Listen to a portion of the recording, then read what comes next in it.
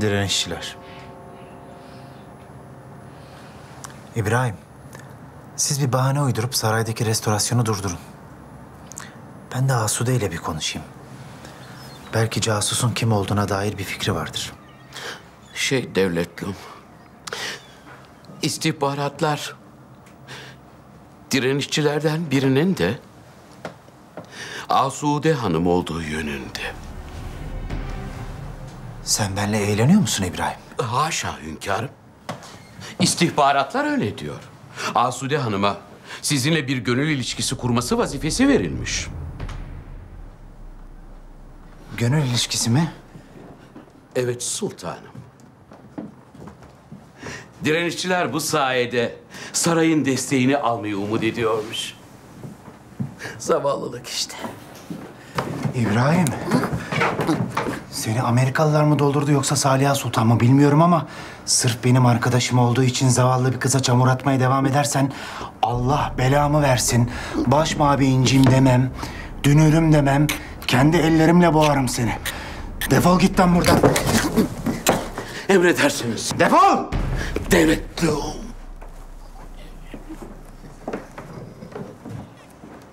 Koskoca Amerikan istihbarat teşkilatının işi gücü yok. Sırf beni seviyor diye zavallı kızcağıza çamur atıyorlar. Uykularınız kaçıyor değil mi? Padişah hayatında ilk kez mutlu aşık diye. Belanı mı arıyorsun İbrahim? Belanı mı arıyorsun? Selam. Asude. Başkasını mı bekliyordunuz? Eğer cariyelerinizden biri gelecekse ben sizi hiç rahatsız etmeyeyim hünkârım. İbrahim Bey bendeydi de geri geldi zannettim. Aşağıda karşılaştık baktı ama tanımadı beni.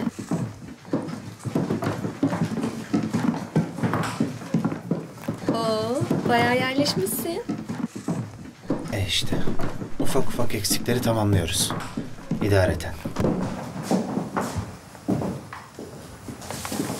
Bak sana ne aldım.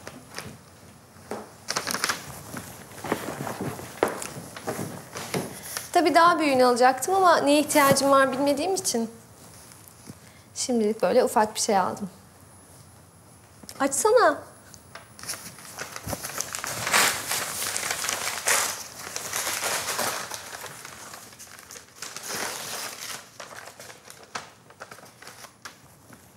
Beğendin mi?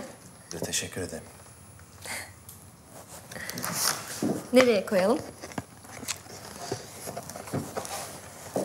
Bence yatak odasına koyalım. Böylece sabahları uyandığında ilk beni görmüş olursun. Asude, Efendim? ben sana bir şey sormak istiyorum. Tamam. Ama önce ben sana bir şey soracağım. Nedir?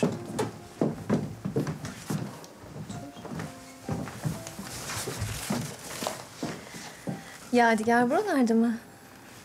Hayır. Çat kapı gelmez yani. Gelmez. İzinli bugün. Neden sordun?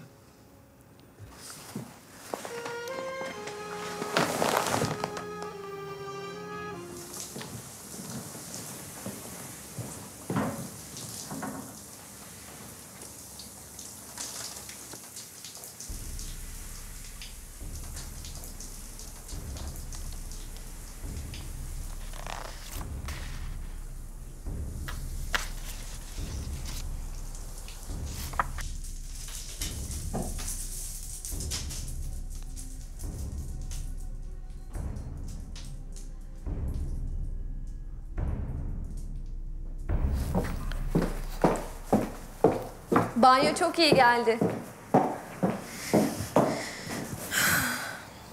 Oo, saat çok geç olmuş. Arkadaşlarla buluşacaktık bir sergiyi gezmek için. Çıksam kızmazsın değil mi? Git tabii git.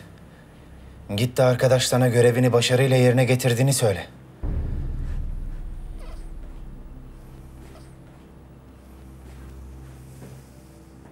Onlara çok kolay oldu de. Çocuk yaşta evlenmiş adamcağız zaten karısıyla mutsuz. Biraz cilveli laflar ettim. Biraz musiki sohbeti yaptım. Üç günde tavladım attım yatağa de. Osman Her şey direniş içinde. Yazık Asude yazık. lütfen. Yemin ederim Kes artık oyun oynama Asude.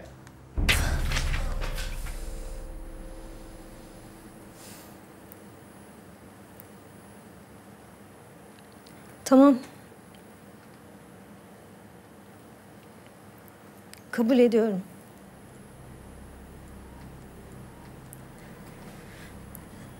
Saraya geliş amacım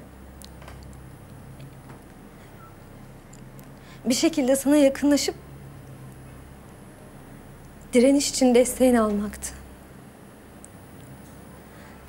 Ama seni tanıdıktan sonra her şey değişti.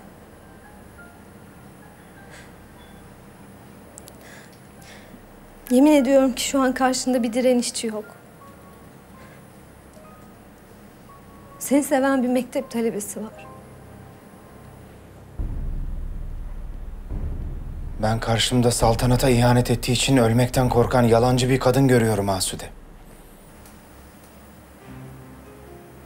Öldüreceksen hiç durma, çek tetiği. Ama bana sakın saltanattan falan bahsetme. Çünkü ortada ne saltanat var, ne de padişah. Bu işgal sürdüğü sürece sen sadece bir semt adısın. Osman Bey. Defol git bu evden. Gözüm görmesin seni.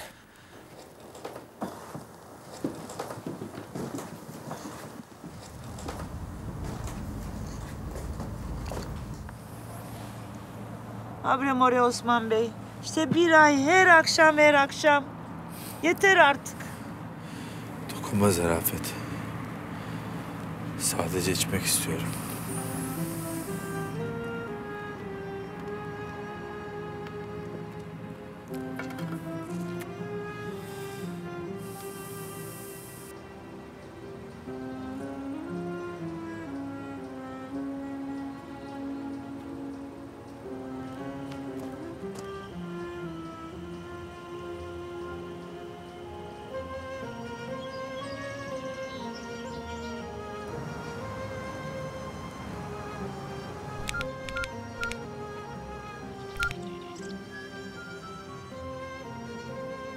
Aradığınız kişi şu anda ulaşılamıyor. Lütfen daha sonra tekrar deneyin.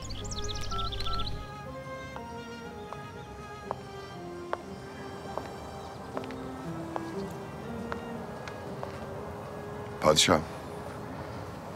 Siz emir buyurursanız gider ararım. Nerededir, ne yapıyordur bakarım padişahım. Gerek yok Yadigar. Şeytan görsün Asude'nin yüzünü. Ben bir arkadaşımı aradım zaten. İsveç kralını. Dua etsin boynunu vurdurmadı mı?